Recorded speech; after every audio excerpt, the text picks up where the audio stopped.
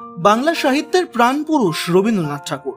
শুধু দেশ নয়, এশিয়ার প্রথম নোবেলজয়ী কবি হলেন রবীন্দ্রনাথ ঠাকুর। বাঙালির কাছে তিনি শুধুমাত্র কবিগুরু নন, চিরসখাও বটে।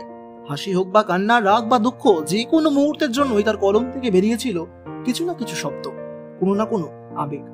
রাজ্যের নানা প্রান্তে আজকে সাড়ম্বরে পালিত হচ্ছে পঁচিশে বৈশাখ বা রবীন্দ্র জয়ন্তী। একশো একষট্টিতম জন্মবার্ষিকী আজ রবীন্দ্রনাথ ঠাকুরের। বারোশো আটষট্টি বঙ্গাব্দের পঁচিশে বৈশাখ কলকাতা জোড়াসাঁকো ঠাকুর পরিবারে জন্মগ্রহণ করেছিলেন রবীন্দ্রনাথ। তার অমর সৃষ্টি আজও বাঙালির কাছে সমানভাবে প্রাসঙ্গিক। মানুষের আবেগ, অনুভূতি, আকাঙ্ক্ষা, অভিব্যক্তির প্রকাশ ঘটেছে তার রচনায়। কবিগুরুর জন্মজয়ন্তীর উদযাপন আসলে বাঙালির আবেগের উদযাপন। তার সৃষ্টির মধ্যেই কোথাও না কোথাও খুঁজে পাই আমরা আমাদের অনুভূতির মুক্তি। এ সবকিছুই জানা, তবে যে জিনিস আপনাদের জানা হয়তো নেই, তা হলো তাদের আসল পদবি কিন্তু ঠাকুর নয়, ছিল অন্য কিছু। এবার আপনার প্রশ্ন জাগবে, তাহলে কি ছিল সেই পদবি? আর তাদের পদবি ছিল কুশারি। এর জন্য আপনাকে যেতে হবে একটু ইতিহাসে। কেনই বা পদবি আনতে হয়েছিল এরকম পরিবর্তন? আর কেনই বা তারা কুশারি থেকে ঠাকুর হয়েছিলেন? তা জানতে গেলে একটু পিছিয়ে যেতে হবে। দেড় শতকের ধর্মীয় গঞ্জনা অপমান সহ্য করে বছরের পর বছর দরিদ্র মানুষের সেবায় নিয়োজিত থেকে কুশারি বংশধরেরা হয়ে উঠেছিলেন ঠাকুর।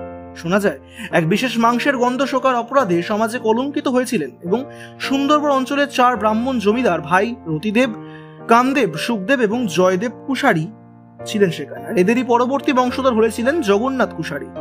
তার বংশধর রামানন্দের মহেশ্বর আর সুখদেব নামেই দুই ছেলে ছিল। তারা গোবিন্দপুরে দরিদ্রদের সেবা করা থেকে শুরু করে প্রচুর দান ধ্যানও করেছিলেন। সেখানকার মানুষের মনে জায়গা করে নিয়েছিলেন আর তারপর তাই ভগবান বা ঠাকুর হিসেবে তাদের নাম ছড়িয়ে পড়ে। আর সেখান থেকে কুশারীরা হয়ে উঠেছিলেন ঠাকুর। তাহলে এবার আপনারাও জানেন যে কেন রবীন্দ্রনাথ ঠাকুরের আগের পদবি কুশারী ছিল এবং কেনই বা তারা ঠাকুর হয়ে উঠলেন। আর এখানেই শেষ নয়, কুড়ি বছর আগে ঠাকুরনগরের এই একটি মন্দিরও তৈরি হয়েছিল। শরৎচন্দ্র দাস তৈরি করেছিলেন সেই মন্দির। বেশ কয়েক বছর আগে তিনি মারা গিয়েছেন। আর এরপর থেকে সেই মন্দিরের দায়িত্বভার গ্রহণ করেছিলেন স্বামী সুধাকৃষ্ণ দাস গোস্বামী মহারাজ। আর সেই মন্দিরে আজও রবীন্দ্রনাথ ঠাকুরকে পুজো করা হয়। এক এক জায়গাতে এক এক রকম ইতিহাস এক এক জায়গায় এক এক রকম আবেগ মানুষের। তবে রবীন্দ্র জয়ন্তী যেন আজও মানুষের মনে ঠিক ততটাই আবেগ নিয়ে জুড়ে বসে আছে।